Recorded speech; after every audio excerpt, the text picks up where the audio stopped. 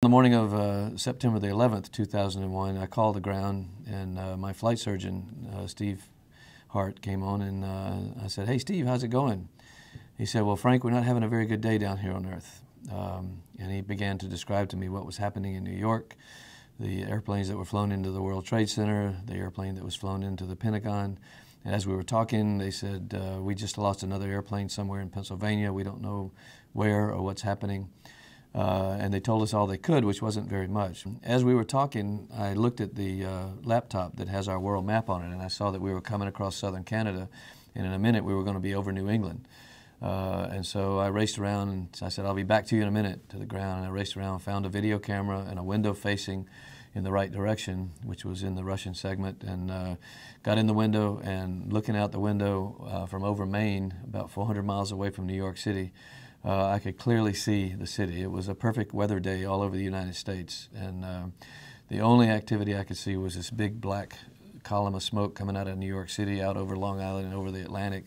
And as I zoomed in with the video camera, I saw this big gray blob basically enveloping uh, the southern part of Manhattan. And what I was seeing was the second tower come down. I didn't know exactly what I was seeing. I just assumed it was more explosions.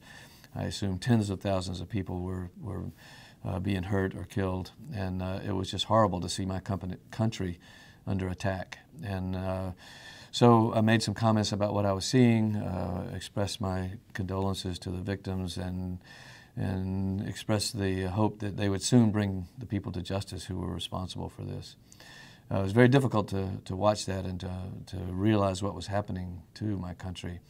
One of the most startling uh, uh, effects was that within about two orbits, all the contrails that are normally crisscrossing the United States had disappeared because they had grounded all the airplanes and there was nobody else flying in the U.S. airspace except for one airplane that was leaving a contrail from the, from the uh, central U.S. towards Washington, and that was Air Force One headed back to D.C. with President Bush.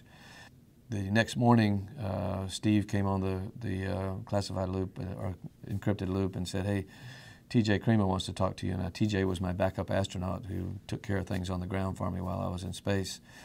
And he came on and he said, Hey, Frank, I've, uh, I've got some bad news.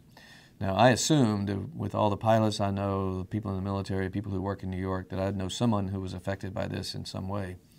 And TJ uh, described to me what had happened with the flight into the Pentagon. And it turned out that the command captain of that flight was a classmate of mine from the U.S. Naval Academy named Chic Burlingame he and I had both been aero majors. We both flew F-4s. We knew each other very well from school and from flying.